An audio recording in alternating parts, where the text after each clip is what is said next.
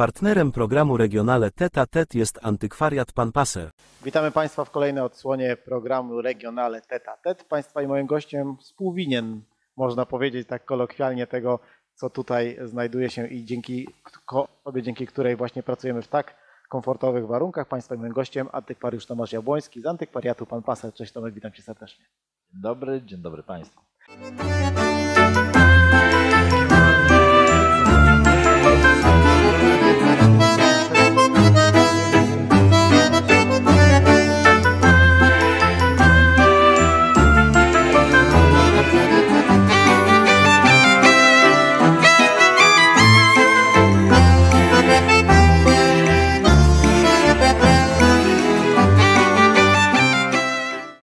Ja, Tomek, pozwolę, że zawsze mówię o obrazach Oruby, ale tym razem poproszę Ciebie, żebyś zaprezentował obraz, bo tym razem Oruby nie mamy. Tak, mamy e, dzisiaj w studio innego wałbrzyskiego malarza. To jest e, artysta, który był jednym z trzech wałbrzyskich ilustratorów e, obok Rudolfa Krafta i Waltera Kosze. E, był artystą należącym do takiej wałbrzyskiej przedwojennej grupy, bo takowa w Wałbrzychu funkcjonowała, Stowarzyszenie Artystów Wałbrzyskich, e, Waldenburger Kunstler Gilde, tak to się nazywało. Artysta nazywa się Martin Sternagel. Urodził się w Unisławiu Śląskim, czyli po, po sąsiedzku, tak trochę do Wałbrzycha, do naszej aglomeracji, bo nasz antykwariat znajduje się, e, jak wiesz, w Boguszowie Gorcach, dokładnie w Kuźnicach Świdnickich. No i Unisław leży sobie obok, e, bardzo malownicza miejscowość. Urodził się pod koniec XIX wieku, w, dokładnie w 1893 roku. Zmarł w 1943, zginął gdzieś na, na, na froncie. I jego prace, z tego co udało mi się prześledzić rynek, można policzyć na palcach jednej ręki to, co pojawiło się do tej pory na naszych domach, domach aukcyjnych w handlu, a nasze Wałbrzyskie Muzeum Porcelany może się pochwalić jedynie też kilkoma pracami mm, na papierze, grafikami. On był głównie grafikiem, akwale, akwa... Realist, akwarystą, tak? Czy akwarystą? Trudne słowo. Tak? E, ale jest też w Jedlinie mm, Zdrój taka apteka na Piastowskiej ulicy, której fasada jest mm, dekorowana w tynku pięcioma przedstawieniami jego autorstwa, e, które mm, ilustrują nieszczęścia, które mogą spotkać klienta kasy oszczędnościowej, bo przed wojną tam znajdowała się właśnie kasa oszczędnościowa. E, tam jest scenka ze złodziejem, z pożarem i to właśnie. E, Czyli można powiedzieć, że w swoim czasie tworzył reklamę. E, tak, tak, był dekoratorem, e, zajmował się malarstwem ściennym. Z tego co wiem, to jest jedyny obraz olejny, przynajmniej w Wałbrzychu w muzeum nie posiadają takiej pracy. Ja na rynku nie widziałem. E, pikanterii doda fakt, że to podwójny obraz. Ja zademonstruję, bo tu z tyłu na odwrocie, na podobraziu jest mniejsza forma, która jest najprawdopodobniej studium do e, tej kompozycji, a jeśli chodzi o, o tą scenę, ona rozgrywa się na wałbrzyskim rynku. E, nie wiem, czy ty e, zwróciłeś uwagę, że pierwsza z kamienic z lewej strony. To jest kotwicą. Tak, to jest, to jest kamienica pod kotwicą, czyli Anker House. Ta czerwona to kapli, kamienica pod trzema różami dzisiejsza, no i kolejne następne. Ja przeanalizowałem dokładnie układ architektoniczny, gzyms, podcienia, wszystko 100% siedzi na swoim miejscu. E, swego czasu nawet zrobiłem w rynku sobie na tym fragmencie na tle e, zdjęcie, e, tak dla porównania. Jak widać, to są lata 30., 40. Rynek wtedy Wobrzyski pełnił funkcje handlowe. Tutaj mamy ludzi kupujących kwiaty najprawdopodobniej. I kolejna ciekawostka związana z tym obrazem, bo studio e, mieści się w Szczawnie, e, a obraz został kupiony kilkaset metrów stąd e, na jakąś dekadę temu, może, no tak circa powiedzmy, na pętli siódemki w, w pensjonacie Jadzia, który dzisiaj należy do prezesa Fundacji Daisy. Księżnej Daisy, tak. Tak, tak, Mateusza Mektyszyna. Ja, my, my próbowaliśmy kupić ten dom jeszcze wcześniej, to on był podzielony mm, między dwóch właścicieli i oglądając y, mieszkania pod kątem zakupu nieruchomości, do której nie doszło, y, trafiliśmy u jednego z nich na różnego typu przedmioty, które udało się kupić, między innymi ten obraz, więc to taka jest, historia zatoczyła, zatoczyła e, koło. Dlaczego ten obraz dzisiaj się tutaj pojawił? Dlatego, że mm, ja obiecałem Tobie, że na łamach prasy, Tak. e, w gazety, w e, której publikujesz, ogłosimy termin e, wystawy. Po- I portalu Regional Info. Tak, natomiast nie dotrzymałem słowa. Ogłosimy po raz pierwszy publicznie to teraz Tutaj, w tak. u Ciebie. No więc 27 września będzie miał miejsce wernisaż wystawy zatytułowanej Wałbrzych i okolice, gdzie Wałbrzych tak przewrotnie będzie występował jako miejsce na ziemi, czyli miasto, ale również jako synonim przemysłu e, ceramicznego wałbrzyskiego, e, który tradycjami sięga pierwszej połowy XIX wieku, z których Wałbrzych słynął. Ja sam osobiście jestem e, absolwentem technikum ceramicznego tutaj w Szczawnie Zdroju też po sąsiedzku, które przeszło już do historii, jak i cały przemysł wałbrzyski.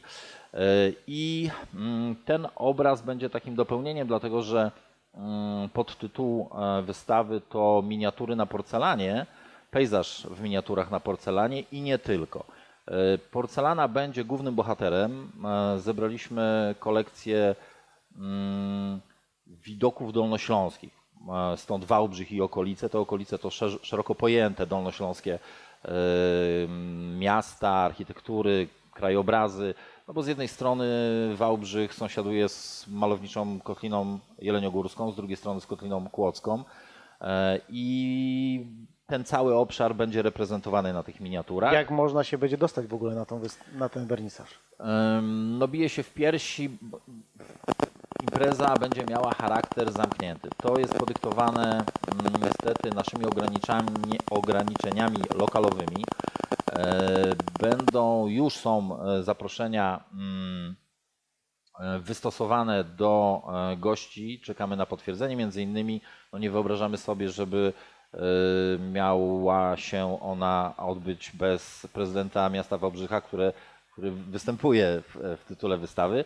Em, Wysłaliśmy maila, czekamy na, na potwierdzenie em, wizyty pana prezydenta. Natomiast po wernisażu cała wystawa będzie miała formę objazdowego, gotowego produktu, który mam nadzieję, że zagości i w instytucjach e, kulturalnych e, na Dolnym Śląsku, e, muzealnych, no wszędzie tam, gdzie będą chcieli to obejrzeć, gdzie będą zainteresowani, głównie tak jak powiedziałem, porcelana i dopełniona pejzażami z Wałbrzycha i, okolic. Czy również tam zobaczymy obrazy Alfreda Oruby? Jeden na pewno. Jeden na pewno. Malarstwa nie będzie dużo, ono będzie takim dopełnieniem, natomiast będzie to taki przekrój powiedzmy od przełomu XVIII-XIX wieku do współczesności. Więc Alfred będzie tam reprezentował współczesność, czasy nam. Tomek, ja jeszcze oczywiście przy widzach chciałbym Ci podziękować za tą pomoc w aranżacji tego studia. E, To duży wkład Dziękuję. Twój. E, Bardzo Ci dziękujemy, że możemy w takich właśnie warunkach e, pracować i gościć naszych e, gości naprawdę na niesamowitych e, rzeczach. Czy mógłbyś chwilę opowiedzieć o tym, skąd to się wzięło i co to jest, bo to jest bardzo ciekawa historia. A wiesz co? No, meble zostały przywiezione przez. To nie jest plastik oczywiście, od razu mówimy, bo to tak wygląda zawsze z, e, z perspektywy e, telewidza. No, nie no, meble są wykonane e, taką techniką e, dosyć skomplikowaną, e, z malutkich fragmentów egzotycznego drewna. E, Benedyktyńska praca, projekt e, sam w sobie bardzo odważny, śmiały, a do tego jeszcze e, stopień trudności w wykonaniu. No, Nikt by się dzisiaj nie podjął raczej. znaczy, co, no pewnie ktoś by się podjął, natomiast e, wyszłoby to naprawdę e, bardzo drogo i, i, i, i, szybko by się wykonawca nie znalazł. Stąd nasz pomysł na nazwę programu, który jest właśnie pochodzenia e, mebli francuskiego. Tak, bo meble zostały przywiezione z Francji, faktycznie zostały kupione przez nas na jednej z e, francuskich aukcji wyprzedażowych, z jednej z galerii, e, które z nieznanych mi powodów, która z nieznanych mi powodów była likwidowana. Dowcip polega na tym, że jadąc nie wiedzieliśmy czego się spodziewać, bo widzieliśmy przedmioty tylko na zdjęciach. One nie oddawały, jak się okazało, gabarytów.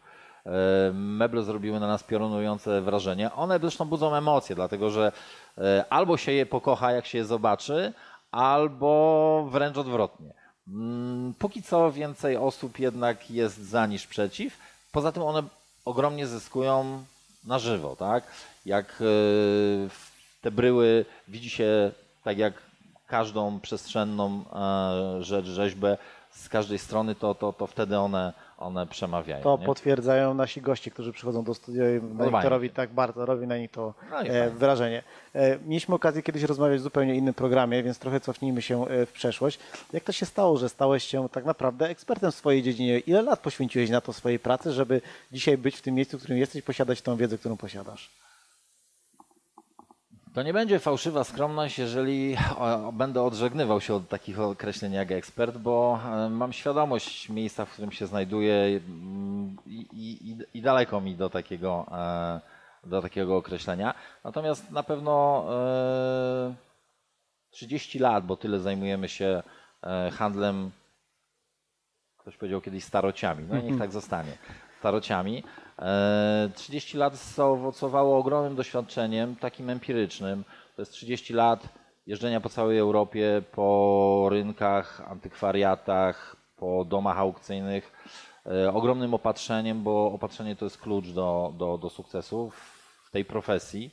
E, I e, no mam nadzieję, że przed nami kolejne 30 lat i, i wiele sukcesów. Ale nie, nie oszukujmy się, też trafiałeś na cudzy, powiedzmy, w cudzysłowie powiedzmy kąski, które naprawdę, przepraszam za określenie, być może nietrafne, ale które się okazały naprawdę hitem na rynku nie tylko antykwarycznym, ale i muzealniczym, chociażby e, obraz e, Wita Stwosza, e, który mieliśmy okazję zaprezentować tutaj naszym czytelnikom i, i portalu na przykład. No tak, Witstworz wiedziałem, że się pojawi dzisiaj. No będzie ciężko mi go przebić pewnie Tak. nawet przez najbliższą dekadę, ale takich obiektów jest dużo więcej. To jest wypadkowa wielu, wielu e, elementów. Z jednej strony benedyktyńskiej pracy, bo poświęca się temu zajęciu naprawdę e, mnóstwo uwagi. E, Z drugiej strony jest w tym, co robię, mm, pewien taki mm, wcale nie mały e, element przypadku szczęścia, losowości, jak byś to nie nazwał, tylko ale to, to z jednej strony napędza, bo, bo to, to trochę jest taki, wiesz, taki e, dziś jesteś żebrakiem, a jutro możesz zostać e, księciem z bajki, tak? Dzisiaj nie masz złotówki, trafisz e, przedmiot i jutro jesteś bogaty. Coś w tym jest. Ale, ale przerwę ci tutaj, bo to nie jest też do końca szczęście. Posiadasz niesamowitą wiedzę, ale ty też potrafisz czerpać z tej wiedzy. Wiesz, gdzie zasięgnąć tej wiedzy, czyli do odpowiednich źródeł potrafisz trafić. I mając stąd wiedzę, jeżdżąc, załóżmy, tak jak powiedziałeś, po tej Europie, potrafisz to wszystko połączyć. Nie no, e, oczywiście, że tak, że to, to są rzeczy, które się wzajemnie uzupełniają, zazębiają. Natomiast no, ten, ten, ten efekt ruletki jest w tym wszystkim też e, mm, obecny. E, żeby, żeby nie sięgać daleko, ostatnio byliśmy w Paryżu, e, między innymi zabraliśmy córkę, która jest na historii sztuki i chcieliśmy pokazać jej między innymi ścieżki, którymi się sami poruszamy, pokazać im jej te miejsca, w których robimy zakupów, w których szukamy tych rzeczy. No i wyobraź sobie, że przychodzimy na jedno z tamtejszych marsze, e, stajemy wśród e, stoisk e, i ja zaczynam jej tu opowiadać. Mówię, no widzisz dziecko, to tak wszystko wygląda. E, No a teraz musisz się tą alejką e, przemieszczać w tamtą stronę, rozglądając na lewo i prawo i wśród tych wszystkich no, setek, tysięcy różnych drobiazgów, dużych obiektów i tak dalej, w miarę szybko, prześlizgując się wzrokiem, e, odnaleźć, skojarzyć jakąś, jakąś znaną formę, może jakiś fragment naszej historii, obyczajowości, no coś, co przykuje Twoją uwagę. No i tak perorując, odwracam się w stronę witryny, mówię, o widzisz, mówię tutaj takie dwa świeczniki srebrne, niemiecki warsztat, pewnie Wrocław albo Brest, albo, albo, albo Berlin.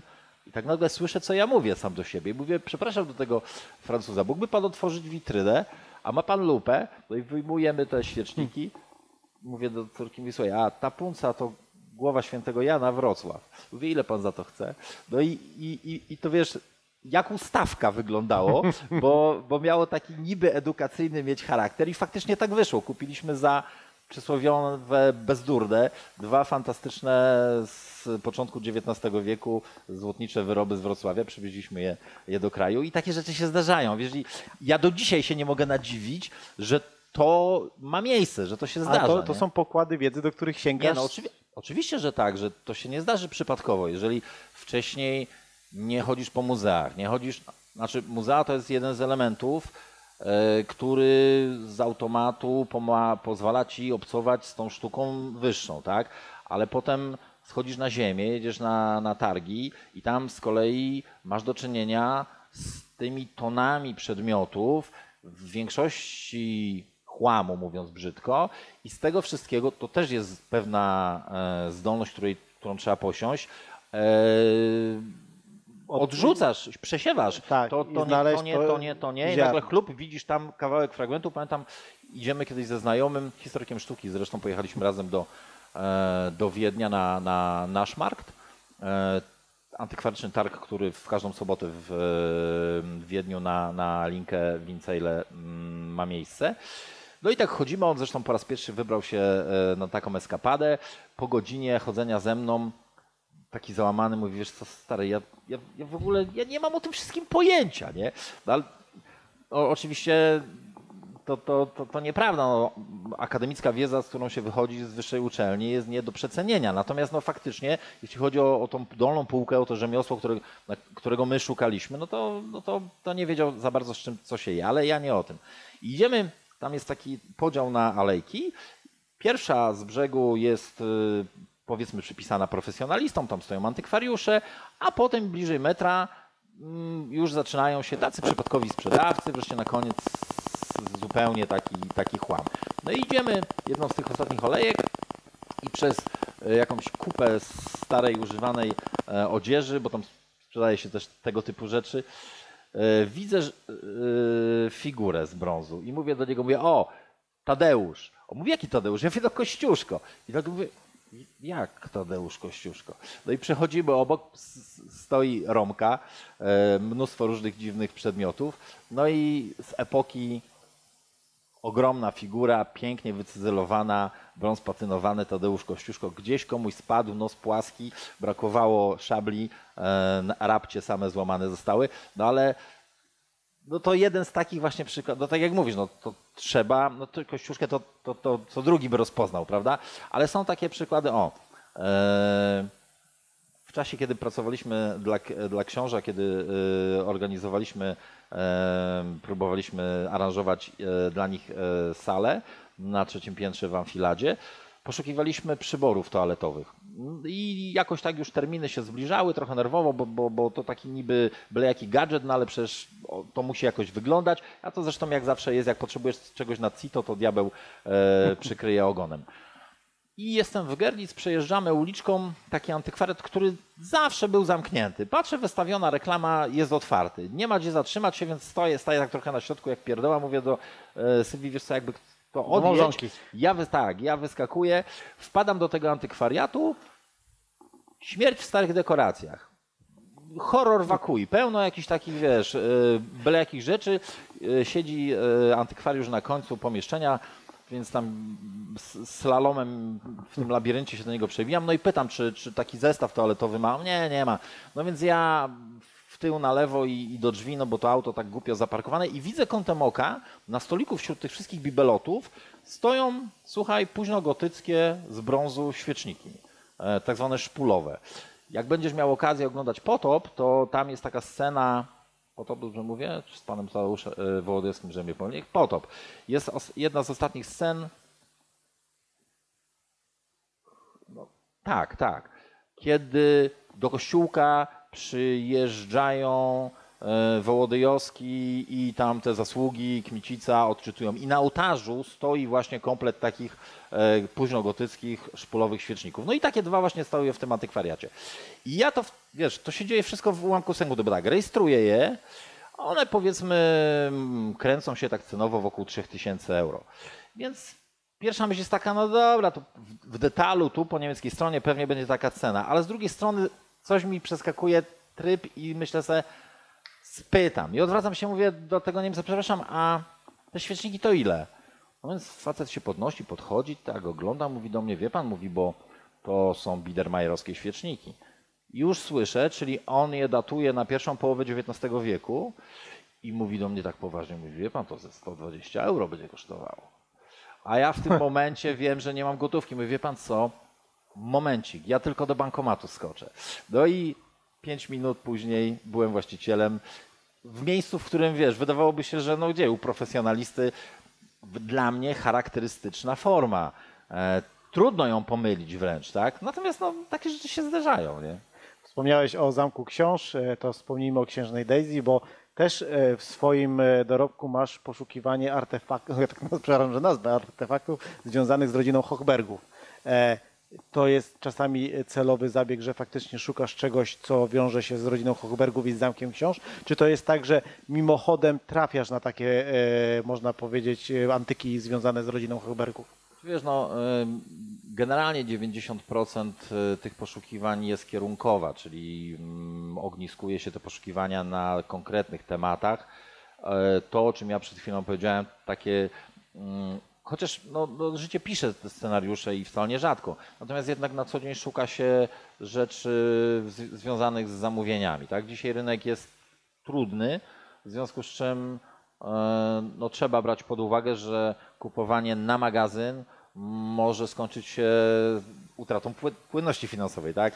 Dobrze, ale wspomnijmy wazę, bo sam potrafiłeś jakby doprowadzić po y, kłębce do nitki, y, po nitce do kłębka, że faktycznie waza, o której kiedyś pisaliśmy na naszym portalu, e, była związana z rodziną Hochbergów, choć nikt tego wcześniej nie zauważył. No to wiesz, znowu można nazwać przypadkiem. e, Dowcip polegał na tym, że ta waza pojawiła się na rynku, anty, y, na rynku sztuki, bo, bo pojawiła się w jednym z warszawskich domów aukcyjnych kilka lat temu. E, Ona początkowo miała jakąś tam wyższą cenę. E, Wiem, że oferta spłynęła do zamku, bo taka jest praktyka tego domu warszawskiego, więc wiem, że na pewno poinformowali, że będzie licytowana. Mm, U nas widocznie na zamku uznano, że przedmiot jest y, drogi, że być może nie robi wnętrza, bo, bo, bo, bo to jest jednak, nazwijmy to bibelot, tak?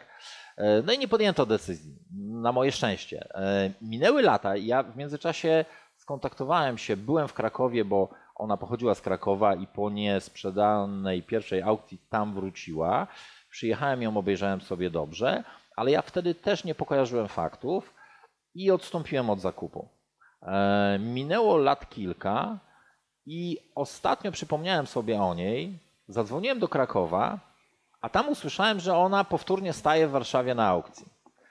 E, Więc obserwowałem, co się dzieje, ale w międzyczasie już chyba dotarło do mnie, bo ona na odwrocie jest datowana. I w pewnym momencie, wiesz, to, to są takie banalne rzeczy niby, ale, ale to jednak musi ci zaświtać w głowie, że no dobra, no ale skąd ta data, tak? Przecież to nie jest data powstania przedmiotu, bo, no bo bzdura, takich rzeczy się nie robi w ten sposób, tak?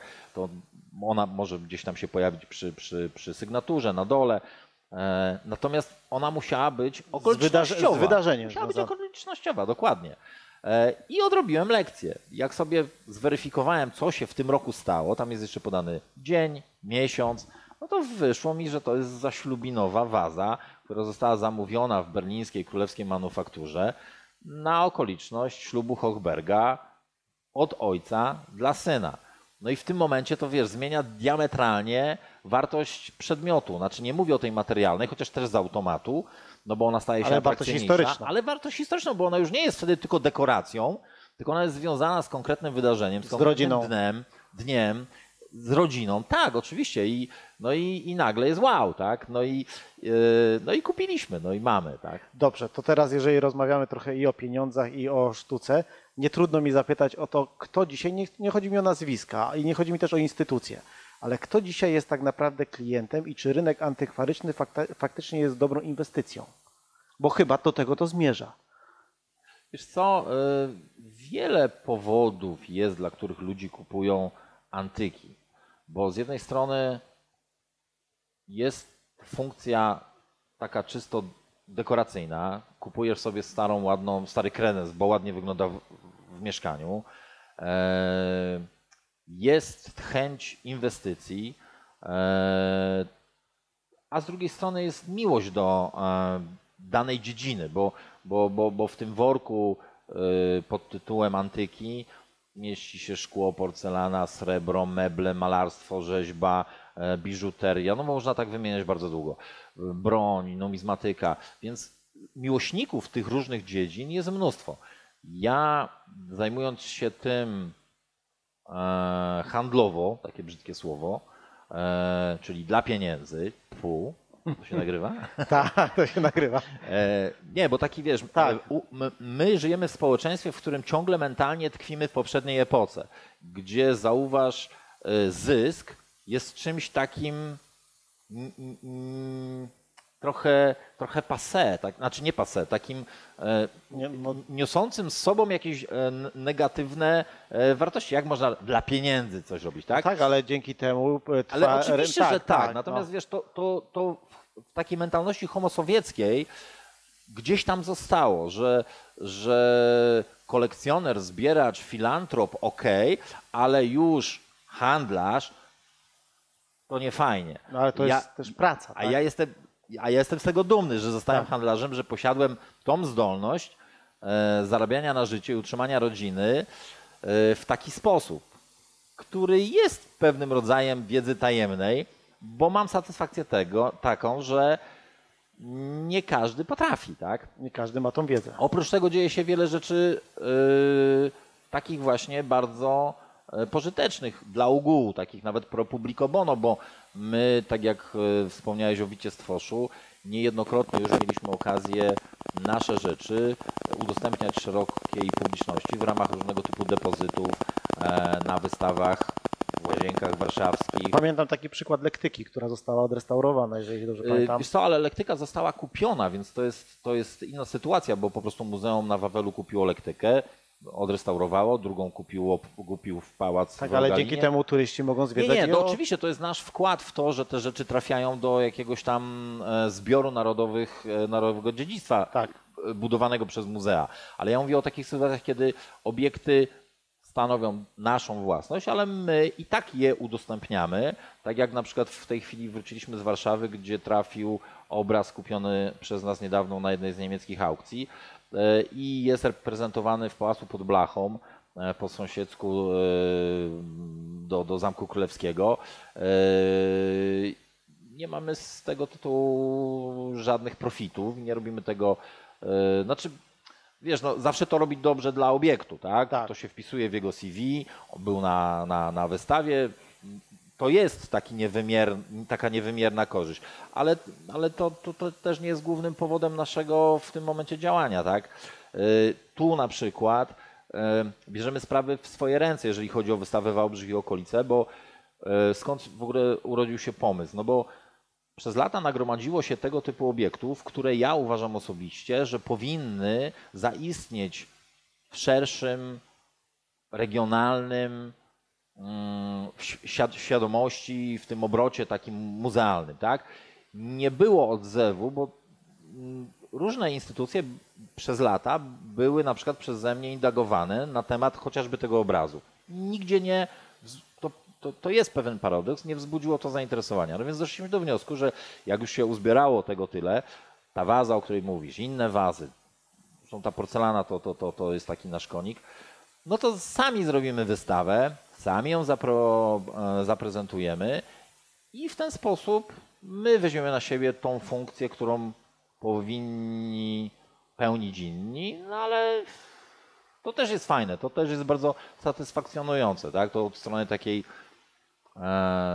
no, realizowania własnych ambicji, tak? Tomek, bardzo Ci dziękuję. Dziękuję za super rozmowę. Mam nadzieję, że jeszcze raz przyjdziesz do studio, jak będziemy mieli kolejne jakieś ciekawe e, tematy, chociażby związane z Twoją e, pracą i takim, można powiedzieć, trochę odkrywaniem tajemnic historii, historii sztuki. E, Państwa i moim gościem antykwariusz Tomasz Jabłoński, współtwórca tego miejsca, w którym możemy gościć naszych fantastycznych e, gości z regionu. E, No i Tomek, bardzo Ci serdecznie dziękuję za dotychczasową współpracę. Dzięki serdeczne. Dziękuję Państwu.